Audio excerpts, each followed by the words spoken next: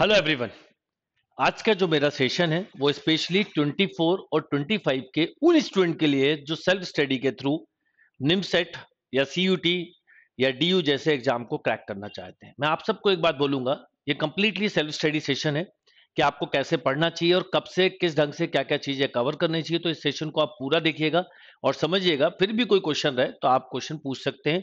Impetus Gurukul आपको हमेशा help करेगा सपोर्ट करेगा। इम्पिटस गुरुकुल के थ्रू आप सेल्फ स्टडी करते हुए भी कैसे अपने टारगेट को पूरा कर सकते हैं, वो सारी बातें मैं करूँगा।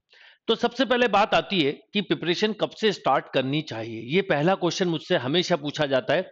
जो बच्चे फ़र्स्ट सेकंड सेमेस्टर में होते हैं, वो भी पूछते हैं। जो थर्ड फोर्थ में होते हैं, वो भी पूछते हैं। और जो फाइनल में होते हैं, वो भी पूछते हैं। तो मेरा सबसे पहले जवाब होता है, जिस दिन आपने सोच लिया कि आपको क्या करना है उस दिन से प्रिपरेशन स्टार्ट करनी चाहिए। इसका मतलब ये हुआ, ये बात निमसेट के लिए नहीं, हर जगह एप्लीकेबल होती है। यदि आप ईमानदारी से देखें तो आईआईटी में सबसे ज़्यादा ट्वेल्थ अपेयरिंग स्टूडेंट सिलेक्ट होते हैं। बट हम कभी ये देखें कि वो ट्वेल्थ अपेयरिंग स्टूडेंट ने पढ़ाई कब से चालू की तो आप देखेंगे मोस्ट ऑफ़ द स्टूडेंट वो हैं जो एट नाइन्थ या टेंथ से स्टार्ट कर चुके हैं।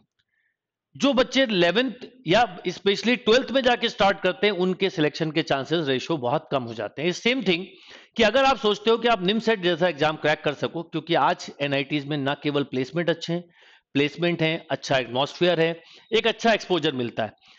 तो अगर आप सोचते हैं कि निम सेट आप पहले अटेम्प में क्रैक कर सके तो और ये सोचें कि मैं फाइनल ईयर के लास्ट सेमेस्टर में करूँगा या सेकेंड लास्ट सेमेस्टर में करूँगा, मैं कहूँगा, आपने अगर मन बना लिया है कि मुझे क्वालिफाई करना है तो सबसे पहला रूल है कि जिस दिन आपने सोच लिया कि मुझे अब निमसेट क्रैक करना है, आपका एग्ज़ाम या 24 है या 25 है डजन मैटर आप प्रिपरेशन स्टार्ट तुरंत करें। ऑब्वियसली 24 वाले बच्चों को थोड़ा सा ज़्यादा टाइम देना है 25 वालों को कम।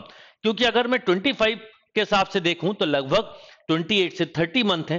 पर 24 के हिसाब से देखूँ तो अब लगभग 18 से 20 मंथ का ही टाइम बचा यानी अब बहुत टाइम नहीं है। तो आप लोगों को, अगर आपने अभी तक एक्शन नहीं लिया इनफैक्ट पिछले भी, पहले भी मैंने बताया हुआ है तो कई बच्चे इम्पिटस गुरुकुल के शेड्यूल को फॉलो कर भी रहे हैं ट्वेंटी के लिए, पर जो नए बच्चे हैं, उनको मैं बताना चाहूँगा कि अभी राइट टाइम है कि आप प्रिपरेशन स्टार्ट करें, क्योंकि अभी अभी आपके सेमेस्टर्स खत्म हुए होंगे। अब बात आती है कि किसी भी एग्ज़ाम को क्रैक करने के लिए सबसे पहले क्या इंपॉर्टेंट चीज़ें हैं? तो सबसे पहली और बेसिक चीज़ है कि आपको यह पता होना चाहिए कि जिस एग्ज़ाम को आप क्वालिफाई करना चाहते हैं, उसका नेचर क्या है? उस एग्ज़ाम का सिलेबस क्या है? उसकी प्रिपरेशन किस ढंग से करना चाहिए? और उसके पिछले पेपर के, पुराने पेपर पुराने सालों के रिजल्ट्स कैसे हैं? कितने मार्क्स पर क्या क्या कॉलेजेस मिलते हैं? तो उसके लिए सबसे पहला काम यह करना होगा, अगर आप बिल्कुल ज़ीरो पे हैं तो भी। तो अब हम बात करते हैं सबसे पहले स्पेशली निम सेट अगर आप निम सेट की तैयारी कर रहे हैं तो आप एमसीए के लगभग हर एग्ज़ाम की तैयारी कर रहे हैं। तो आपको सबसे पहले ये समझना है कि अगर हम देखें तो निमसेट के थ्रू हमें एनआईटीज मिलेगी। जैसे आईआईटी मेंस के थ्रू एनआईटी मिलती है बीटेक के लिए सेम थिंग कि निम सेट के थ्रू आपको मास्टर के लिए एमसीए के लिए आप जा सकते हैं। अब बात आती है कि निमसेट का पेपर कैसे होता है, कब होता है और हमें कैसे पढ़ना सबसे पहली बात कि निमसेट का जो एग्ज़ाम है, वो अक्सर मई के मंथ में होता है। ड्यू टू कोविड अभी पिछले दो तीन साल से डिले हो रहा है, पर अब चांसेस है कि वो मई, जून में ही एग्ज़ाम होगा। और इसका जो सिलेबस है, इसमें बेसिकली सबसे इंपॉर्टेंट चीज़ है, वो है मैथ्स का बहुत बड़ा पार्ट मैथ्स और मैथ्स से रिलेटेड ब्रांचेस होती है लॉजिकल रीजनिंग या quantity aptitude basic of computer fundamental और वेरी एलिमेंट्री इंग्लिश का पोर्शन इसमें आता है। तो आप एग्ज़ाम की प्रिपरेशन करें, उसके पहले हर एक बच्चे का ये क्वेश्चन होता था, सर, कि हमें ये पता नहीं चलता कि हम जब स्टार्ट कर रहे हैं तो कहाँ है? तो हम लोगों ने एक तो सबसे अच्छी चीज़ है कि एक असेसमेंट टेस्ट सीरीज़ लॉन्च की है।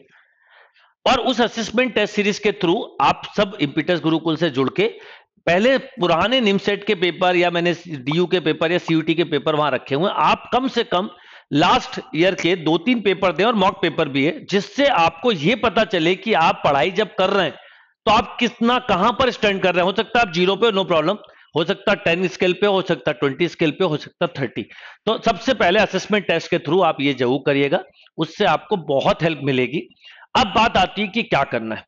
क्योंकि होता यह कि जिनका इलेवन ट्वेल्थ में मैथ्स होता है, उनका भी ड्यूरिंग ग्रेजुएशन मैथ्स से टच कम हो जाता है और जिनका इलेवन ट्वेल्थ मैथ्स नहीं होता, उनको भी मैथ्स में प्रॉब्लम आती है. तो मैथ्स कैसे स्ट्रॉन्ग की जाए?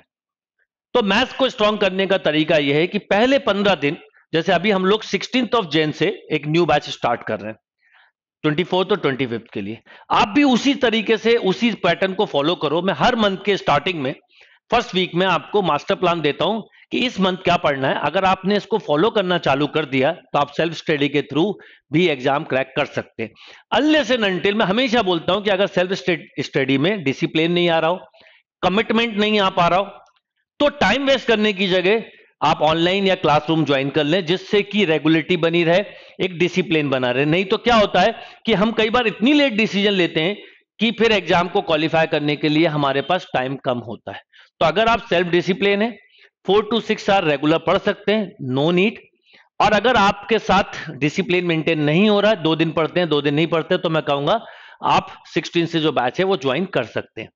और अगर आप सेल्फ स्टडी कर रहे हैं तो एक काम ज़रूर करना आपको कि आप बात साथ में ही टेस्ट सीरीज़ ज्वाइन कर लेंगे तो और एडवांटेज होगा, क्योंकि आपको टेस्ट सीरीज़ के थ्रू ये भी पता चलता रहेगा, क्योंकि हम लोग न्यू टेस्ट सीरीज़ कर रहे हैं कि वीकली क्या पढ़ना है, और उसका वीक में टेस्ट होगा, और उसका नेक्स्ट मंडे ट्यूसडे में लाइव एनालिसिस होगा, और फिर अगले वीक क्या टेस्ट होगा, और कंप्लीट स्टडी मटेरियल भी होगा तो एक पैटर्न हो जाएगा। तो टेस्ट सीरीज़ सेल्फ स्टडी वालों के लिए बहुत हेल्पफुल है, ये गलती मत करिएगा कि टेस्ट सीरीज़ आप बाद में करें कि पहले सिलेबस कर लें, ये गलती मत करिएगा। तो अब बात करते हैं सबसे पहले क्या करना है। जैसे 16 से लेके 30 जनवरी तक 16 टू 13 जनवरी तक आपको एलिमेंट्री मैथमेटिक्स पढ़ना चाहिए। यानी आप नाइन्थ और टेंथ की, या तो एनसीईआरटी की बुक या आर डी शर्मा की बुक लीजिए और उससे सेट का basic quadratic equation progression elementary trigonometry ये पंद्रह दिन आपको करना चाहिए। बहुत अच्छे से एलसीएम एससीएफ है ना? Properties of numbers properties of prime numbers पहले ये करिए। देखिए, जब हमें बहुत आगे लंबा जंप मानना हो ना तो पीछे भी जाना पड़ता है। तो ये काम आपका पहले पंद्रह दिन में होना चाहिए।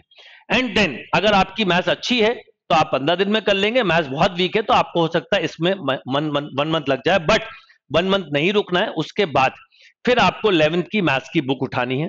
और उससे मैथ्स का पूरा सिलेबस कवर करना है। स्टार्ट पहला टॉपिक करिएगा क्वाड्रेटिक इक्वेशन क्वाड्रेटिक इक्वेशन के बाद आप लोग पढ़िएगा प्रोग्रेशन प्रोग्रेशन के बाद ये दो टॉपिक आपको करना है और पंद्रह पंद्रह दिन का समय देना है। एक्चुअल में एक और बेनिफिट होता है कि अगर हम समय पे पढ़ाई स्टार्ट करते हैं तो हमें एक सफिशियंट टाइम मिलता है कि हम अपने सिलेबस को कवर कर पाए।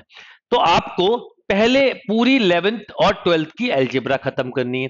प्रोग्रेशन के बाद आप करिएगा बाइनिमल थ्योरम बाइनिमल थ्योरम के बाद आप करिएगा डिटर्मिनेंट डिटर्मिनेंट के बाद आपको करना है मैट्राइसिस मैट्राइसिस के बाद आपको करना है सेट थ्योरी सेट थ्योरी के बाद करना है पम्पुटेशन कॉम्बिनेशन और उसके बाद आप करेंगे प्रोबेबिलिटी ये पहला आपको दो मंथ का टारगेट है। मैं हर मंथ आऊँगा तो एक आइडिया दिया। फिर भी एक आइडिया देता हूँ कि किस ऑर्डर को आपको फॉलो करना चाहिए। तो पहले आप लोगों को एल्जेब्रा फिनिश करना चाहिए। एल्जेब्रा के बाद फिर आपको टिग्नामेंट्री पे वर्क करना चाहिए। टिग्नामेंट्री के बाद कैलकुलस को कवर करना चाहिए। कैलकुलस के बाद टू डी, यानी two dimension coordinate geometry cover करना चाहिए, उसके बाद वेक्टर और मिसलिनियस।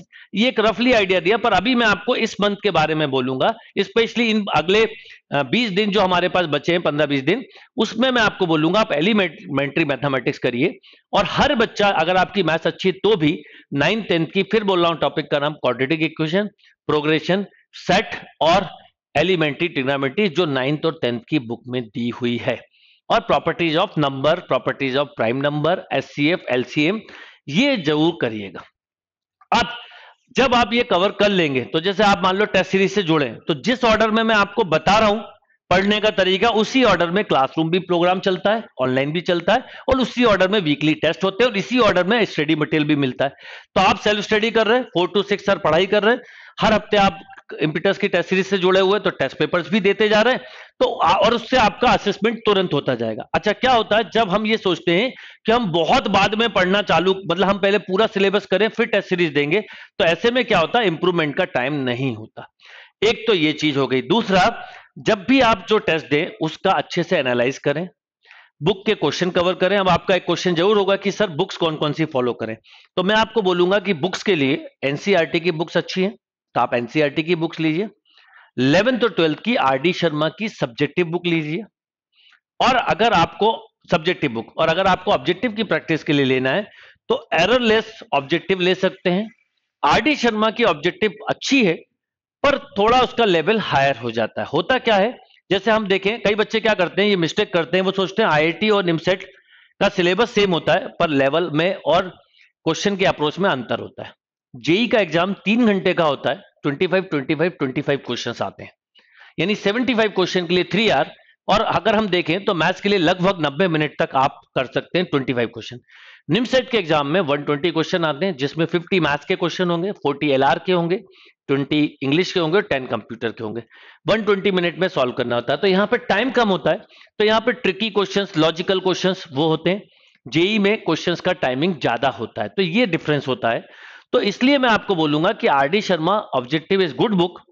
आप चाहें तो कर सकते हैं, पर अगर आप कोई भी बुक लेते हैं तो मैं एक चीज़ बोलूँगा, ये ज़रूरी नहीं है कि बुक पाँच गाइड सॉल्व करें, पर जो भी गाइड करें, उसको कोशिश करिए, फाइव टाइम करें तो एररलेस ऑब्जेक्टिव अच्छी है, और या फिर आप आर डी शर्मा की ऑब्जेक्टिव भी ले सकते हैं, कुछ बच्चे सिंगेज या हरिहंत भी फॉलो करते हैं। तो ये बुक्स के नाम है। ये तो हुआ मैथ्स का। अब बात आती है रीजनिंग। रीजनिंग कब से पढ़ना चाहिए? रीजनिंग के लिए मैं बोलूँगा कि फ़र्स्ट टू थ्री मंथ ज़्यादा ज़रूरत नहीं है, फिर भी आप बेसिक कोडिंग डिकोडिंग वाला चैप्टर हुआ ब्लड रिलेशन हुआ, है ना? डायरेक्शन सेंस हुआ, ये कर सकते हैं और इसके लिए आप आर एस अग्रवाल की logical reasoning and quantity aptitude की जो बुक आती है, वो आप चाहें तो ले सकते हैं। अब कंप्यूटर फंडामेंटल के से अभी कोई एफर्ट नहीं डालने, वो समय आने पे आपको डालना है। तो आप लोगों को एलिमेंट्री मैथ्स पे पहले काम करना है, फिर इलेवेंथ की पूरी एल्जिब्रा पे काम करना है, क्योंकि एल्जिब्रा स्ट्रांग होने से आप आगे के टॉपिक्स को अच्छे से काम कर पाते हैं, क्योंकि टूल्स की तरह काम करते हैं। फिर एल्जिब्रा के बाद टिग्नामेट्री इस तरह से आपको चलना है। एवरी मंथ में आपको बताता चलूँगा, पर मैं अगर आपसे बोलूँगा, अगर आपने 24 25 निमसेट को टारगेट किया है तो वेट मत करिए। ऐसा बिल्कुल मत करिए कि एग्ज़ाम हो जाए, सेमेस्टर हो जाए, फिर करेंगे। जैसे अभी मेरे पास जब कोई बच्चा 23 के एग्ज़ाम के लिए आता है, मैं उससे पहला क्वेश्चन पूछता हूँ कि इतना लेट क्यों? भाई सर, हमने सोचा सेमेस्टर खत्म कर लेते हैं। मैंने पूछा, एक बात बताओ, एक इलेवन ट्वेल्थ का बच्चा नीट, जेई या क्लैट इन सब की तैयारी टेंथ से करने लगता है आप तो उससे निकल चुके हो। आपको ऐसा नहीं लगा कि आप बहुत लेट हो रहे हो? बोले, सर, लगा था पर सोचा ऐसा। ये गलती मत करिए। कॉलेज के लिए बहुत ज़्यादा टाइम नहीं देना पड़ता। और अगर अभी से आप पढ़ेंगे तो आपका कॉलेज मैनेजमेंट और निमसेट प्रिपरेशन मैनेजमेंट बनी रहेगी। चार घंटे उसको दीजिए, चार घंटे इसको दीजिए सफिशियंट है। तो आप सही समय पे सही एक्शन लीजिए, क्योंकि मेरा यह मानना है कि right action in right time equal to positive result यानी लोग एक्शन तो लेते हैं, पर वो कई बार इतने लेट लेते हैं कि उसके अच्छे रिज़ल्ट नहीं मिल पाते। तो मैं आपको बोलूँगा आप ट्राई करिए। Once again all the best thank you